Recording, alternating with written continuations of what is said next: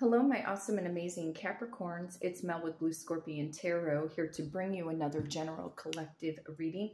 Let's see what's going on in the overall energy dynamics. Calling upon the trusted ancestors of my Capricorn viewers and subscribers to bring in the truth, the whole truth, and nothing but the truth through the power of the numbers. And so it is.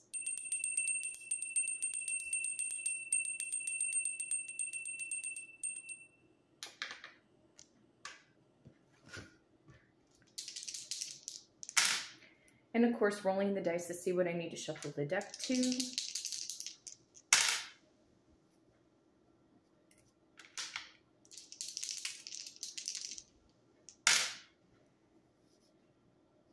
Okay, so we had a 6, 8, 11.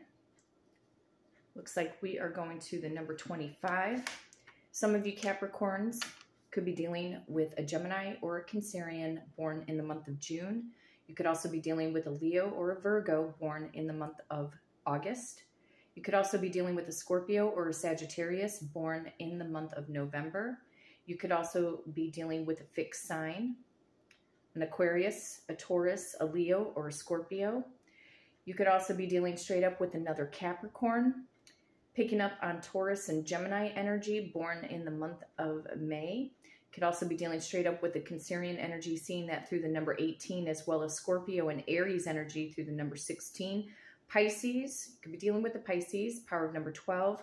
However, you could also be dealing with the Sagittarius or another Capricorn born in the month of December. Okay, so some of you Capricorns could have been born in 1961, 1962, 1965, or 1968. You could have also been born in 1951, 1952, 1956, or 1958 for my more mature audience. You could have been born in 1981, 1982, 1985, or possibly 1986, again, for some of you. So, going to the power of number 25 for the beautiful star sign of Capricorn. 1, 2, 3, 4, 5, 6, 7, 8.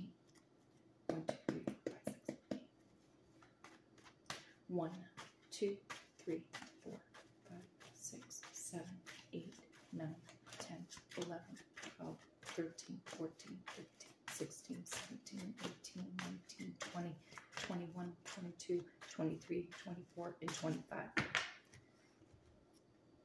Trusted ancestors of my Capricorn viewers and subscribers, what is the overall general collective message, please? What does Capricorn need to know at this time frame? Show me what's up. The Hermit. Some of you could be in hermit mode right now, or if you're dealing with a specific person, there could be no contact going on right now. Uh, somebody could be going through the dark night of the soul, seeking wisdom, clarity, or insight. You might be dealing with a Virgo or a Libra born in the month of September. So somebody's in hermit mode.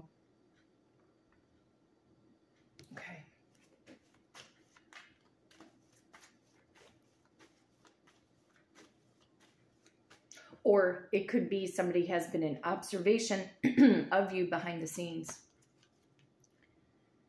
The Six of Wands. Capricorn, you could be going through, we'll say, an elevation in your life right now, or you're going to be going through one in the near future, possibly over the next six days or maybe even six weeks. But something here about good news, or good news is going to be coming in from somebody um, that you know, has remained silent with you. Um, maybe you felt like there was no closure in a connection that you had with a specific person. However, we do have the Wheel of Fortune on the bottom of the deck. So there's like a faded turn of events in a positive direction. Um, some of you could be working in on a business right now. Cut in the middle of the deck, we have the Ten of Pentacles. This could be about a marriage offer or you're leveling up your career and your financial status. Okay, so there could also be things going on between you and family members. Uh, maybe you chose to go no contact with certain family members just because of certain toxicities or behaviors or attitude, etc. Um, however, this is, some of you have been waiting in silence. Um, if you're an entrepreneur, um, it almost feels like maybe some of you guys have been waiting in the wings, possibly to launch something, or you're waiting for your moment in time to shine. Okay, so I am going to go into the Hidden Truth Oracle because I do feel that some of you guys have been dealing with somebody that either cut you out, cut you off, rejected you, ghosted you, etc.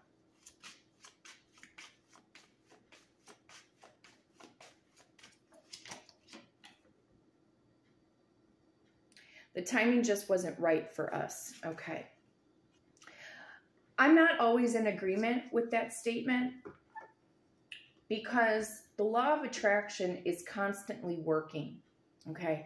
So when we do something or we meet somebody or, you know, when we're putting our best foot forward, it's always the right timing. Doesn't it feel more positive to say that every movement that I make is in the right timing?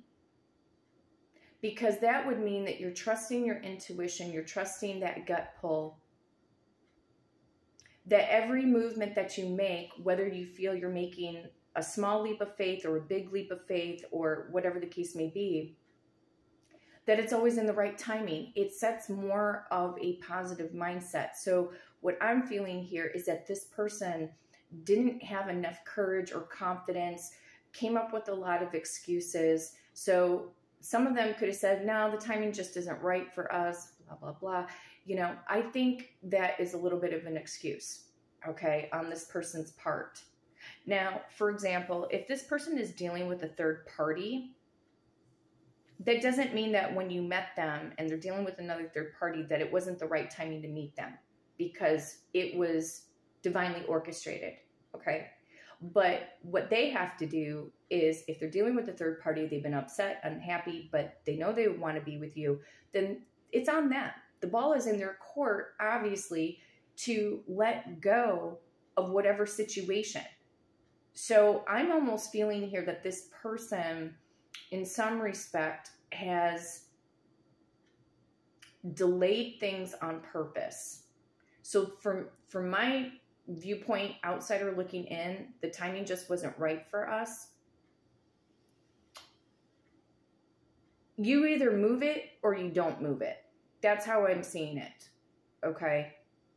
So, and I get it. If people are going through trauma and they're having to heal, obviously you don't want to be with a broken person that's not fully healed. Okay. That's one thing. Okay, so in truth, yeah, sure. That would take a little bit of time, but does it really have to? It's really about your mindset. Okay, so I do feel that somebody here has left you in a state of bewilderment, like not knowing which way is up or down, or you could be feeling like a little bit maybe in an Eight of Swords mode with this person because they kind of, you know, as I see it, left you in limbo. Hang on one second.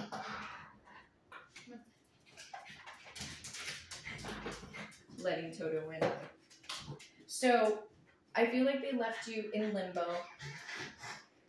Again, not knowing which way is up or down. And so, but no matter what you're feeling right now, uh, Capricorn, towards a specific person, we have to have enough strength and courage and willpower to keep moving forward. I don't feel in truth anybody is technically walking away here from a situation. Some of you could feel like you're in the hanged man mode right now, seeking that wisdom, clarity, and insight about this person. Sure, it could make you feel a little downhearted or disappointed that this person is not making the right moves. But if somebody's in silence and then there's good news coming in, then I would say, what is going on between this action and this action? What happened? What could transpire? Um, so I will definitely take a look at that, but let's take a look at this good news coming in. There you go. So somebody is getting out of hermit mode because they went through their healing phase and now you'll get tailwind of it so this person is going to pop in out of the blue. So in the meantime, what they've been doing is they've been uh, burying themselves pretty much in the quicksand of work, trying to trying to forget about you for the moment. But it's not working. Let's go into Kipper deck.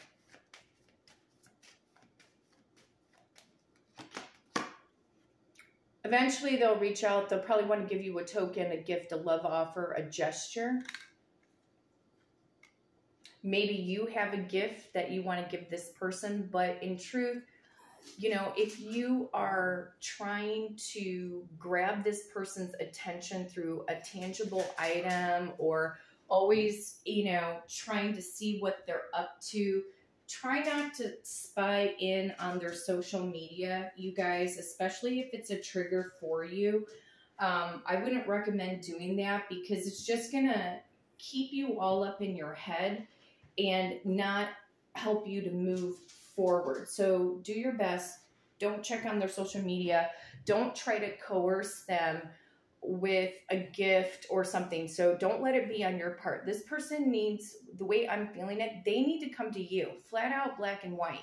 Especially if they maybe they made a promise to you, or maybe they said that they want to get together with you and take you out and get to know you, or some of you Capricorns could have gone through a love bombing situation where this person was all about you and then poof, you know, disappeared and pulled a Harry Houdini, okay, or David Copperfield, and, uh, you know, basically just left you again in this bewilderment. So don't, if they have a birthday coming up, Capricorn, and let's say your birthday passed, but they didn't wish you a happy birthday, do not wish them a happy birthday don't think that you're being the bigger person. You're actually being a bigger person by staying silent. Okay? So if anybody's going through that, thinking like, but it's their birthday, it's the holidays. No, stay in no contact. Stay in no contact because this person, either they're going through their karma or the dark night of the soul or they're trying to heal something, you know, but the timing of you meeting this person, it was divinely orchestrated because we did see the Wheel of Fortune card on the bottom of the deck. That represents fate and destiny.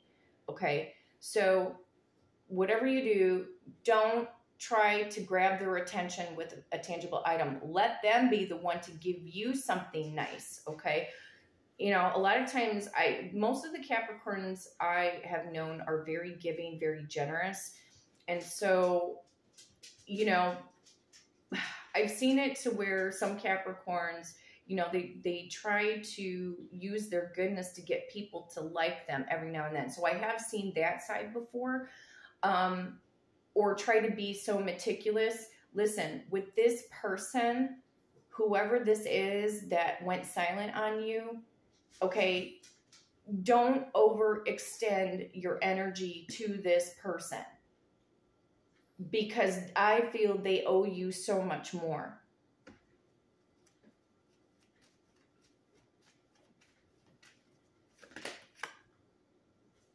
This person, I feel, to me, this poverty card is kind of like, I almost feel that this is a little bit like the Five of Pentacles, where they're going to try to come back, maybe beg you for a second chance, a third chance, fourth chance, fifth chance. But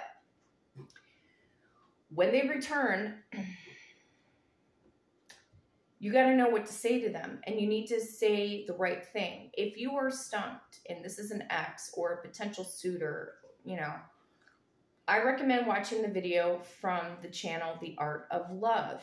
Okay, so go to YouTube, type in The Art of Love, six things to say when your ex returns because they are, in my opinion, very diplomatic questions that can keep you calm so that you do not get into an argument with this person. Okay, you don't need to raise your stress levels. You want to stay in a feel good energy about yourself, your value, your self concept.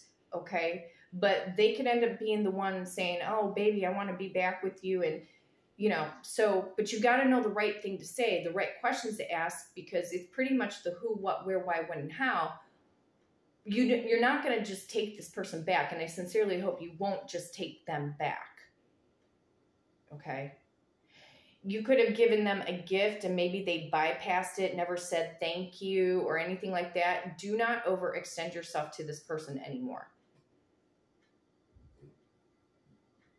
so some of the messages that you know could come in from this person like hey i'm not dealing with that third party and I'd like to get together and, you know, like to talk with you. Do not allow them in your house. Don't allow them in your house because it could lead to other things and you don't want to get into that entanglement. If you're going to meet up with them, meet up with them in a public place. Don't try to give them any side jabs or sarcastic comments. Um, that's not going to work. It will backfire on you. But I feel like this person is coming back either because they want something from you, which I'm going to see why why they're returning and then go into what makes them shift from being in hermit mode to coming in and, and opening up and communicating here.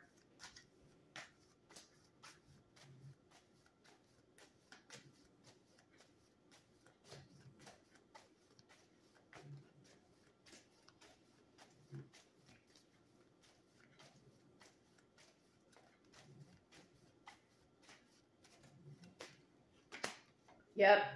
Clarifying the poverty card. There it is. I called it out. Five of Pentacles. This person is either going to get kicked to the curb by a third party. There could be a tumultuous ending for this person, whoever they're dealing with. They could have gotten backstabbed and betrayed, which a lot of you Capricorns have very keen intuition. Okay. So I know that a lot of you Capricorns definitely believe in karma. Okay. So what goes around comes around. So for some of you, you could already be predicting in your mind that this person is going to come back in your direction, okay, begging you for however many chances, okay? But you need to know the right thing to say, okay? So let's see what the transitioning energy is from this hermit into the six of wands.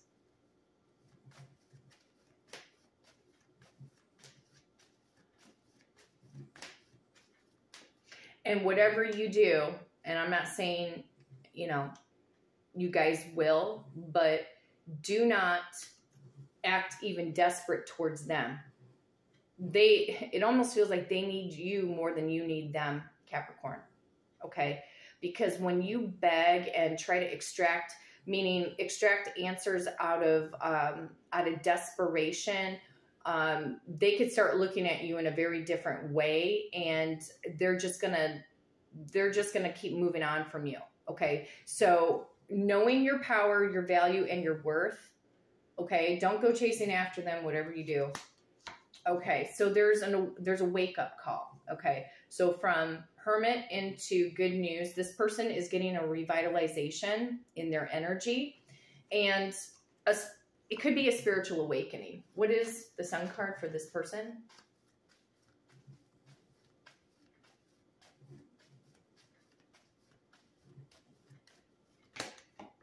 Capricorn energy coming in. They're coming towards you. Again, it could be a spiritual awakening about their circumstances, their environment, any form of toxicities that are going on. Again, like I said, they have to walk away. They have to walk away from something that's no longer serving their highest purpose. So, which in turn could have them come back, you know, begging you back. But you could also be the one in healing mode and you could be, you know, if you're not entirely healed from a particular situation and this person comes back while you're in your healing phase, um, you're going to have to really think it through, okay? Because you need to remind yourself how did this person leave you, Capricorn? How did they leave you? And how did they make you feel when they left? Because here's the thing, and a lot of relationship expert coaches will say this is when the dumper gets ready to dump, the dumpee, okay, or go silent, remember, it gives the dumper relief to walk away without really, you know, they're not really taking full responsibility for their actions. And another reason why people get dumped is because the interest level of that person lowered. Okay. So, in order to get the dumper to have more interest in you, you have to stay, we'll just say on a metaphoric level, tarot terms, you got to stay in a feel good energy about you and not seek, in truth, validation from this person. Okay. It's just a reminder. I'm not saying that you guys don't know what you're doing, Okay. But it's, again, it's just a reminder because it takes a lot, I feel, for Capricorn to get pissed off about things. Okay. They may stay silent. I've seen Capricorn stay silent before. You know, they may vent to other people about a certain situation, but when this person comes back, you're going to have to turn the tables around on this person. But if you are not fully healed and they're trying to come in and disrupt, disrupt your peace, do not respond to them. Okay. It's this flat out black and white. Okay.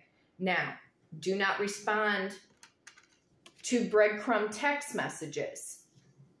They have to give you, if they're going to text you and say that they want to meet up with you, make sure that they're saying something to the effect of, hey, look, um, I was checking in to see how you're doing. However, you know, I would like to see this relationship get back up and running. Is there a time that we can talk? There are some things that I want to say. You need to see some form of a text message like that, or if they leave a voicemail such as that. And then, you know, if you need a little bit of time to think it out before you text message them, good idea, because you don't want to fly off the handle and get the situation deeper and you'll want to hear this person out, but you need to know the six most important things to say to them because it will be kind of like a guidepost for you so that you can keep your mental thoughts and your emotional heart space in balance, Capricorn. But I also feel here too with the devil card that this person, while they've been in hermit mode, could have been obsessing over you. Could have also gotten tailwind that your life is moving in a more positive direction if you guys have mutual friends or they know your family or your family knows them, whatever the case may be, um, word gets around. Okay. Because in truth, like the Six of Wands can talk about community, it could also talk about social media platforms, things like that. Okay. So some of them could be spying on you from behind the scenes for some of them. Even if you have this person blocked and they know some mutual people or they know where you live, they know where you work, they could very well be driving by your house. I'm not going to disregard that thought. But they have some kind of an obsession going on with you. Trusted ancestors, would this person in truth give Capricorn a real, genuine apology, please? Mm. They'll try, but you may be the one that's on the defense. Okay, so whatever you do, hear the person out, but know what to say to them. Again, just reiterating. Magician, you could have gone through a lot of control and manipulation with this person. You could have also been dealing with a narcissist.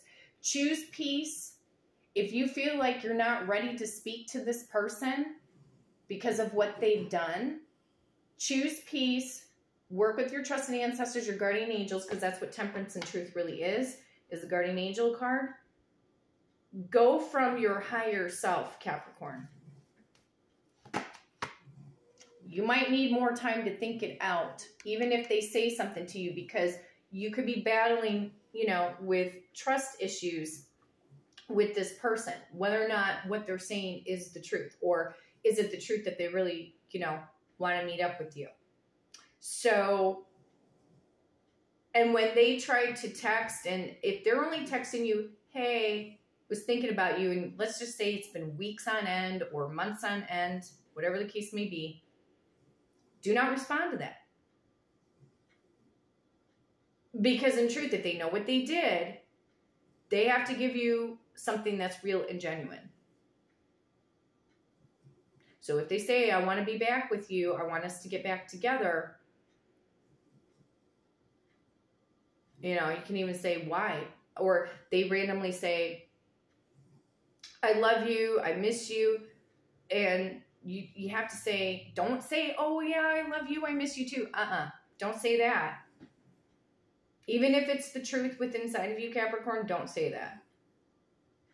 You have to say, why do you love me? Why do you miss me? You seem so happy going off doing what you did. Why now? So, yeah, take your time with this person. Don't rush into anything. But they could even get a wake up call and, you know, realize that they want to be with you. But listen, right now in this reading, I'm not seeing any real effort. But there is a communication card here, which is the magician, because the magician can represent the sign of Gemini, okay, for that card. So, again, it's going to be step by step by step. Don't just take them back. Don't fall into the trap. Well, I have a gift for you, and I have something I want to give to you, and all of this. you know, and say, I, you know, if you don't know what to say, just say, hey, I have some things to think about. I'll try to get back to you as soon as I can. And keep it on the surface. But like I said, go to the channel, The Art of Love, six most important things to say when the ex, potential lover, suitor, and you can even use these statements even with friends or family members as well. They don't have to be an ex, okay, or hold that title of ex. So my awesome and amazing Capricorns, if you would like to book a personal reading with me and do it through the power of the numbers, you can hit me up at bluescorpiongifts at gmail.com and my amazing assistant Victoria will book you for that personal reading. But until next time, take care.